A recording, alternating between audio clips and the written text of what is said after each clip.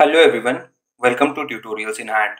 In this video we are going to learn about how to write a program in Python to print square of user entered number. Firstly let's quickly move to VS Code to start writing the program. First of all let's create a new file by clicking onto this icon and let the file name be code.py.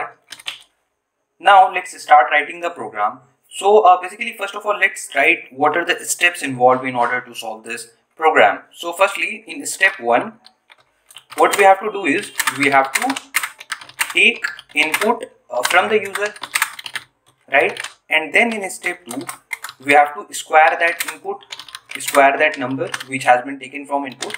And then finally in step 3 we have to print the square right? So this is the overall steps that we have to perform.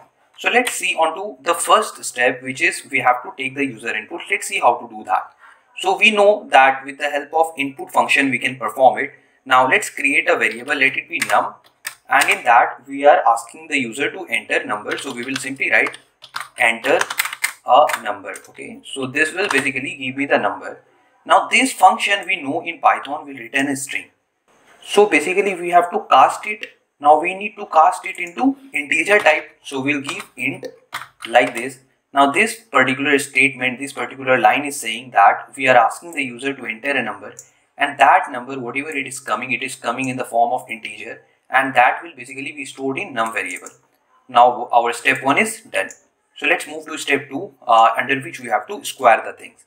So in Python we have something which is double asterisk. So it the way it works is whatever thing we will write before this asterisk that will be the base and whatever things we will write after this asterisk that will be the power.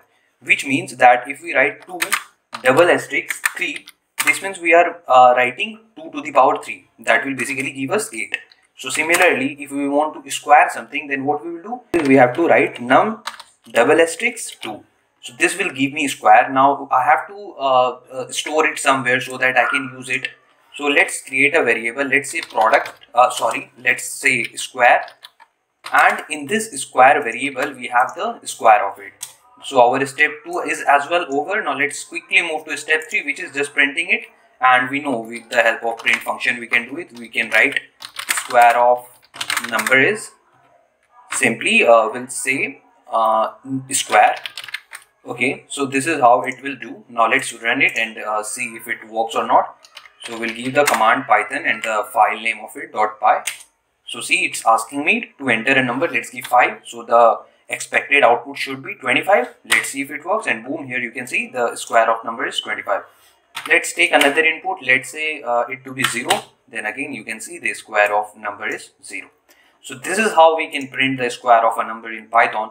I hope you understood it very well. If still you have any doubt, then feel free to drop it down in the comment section.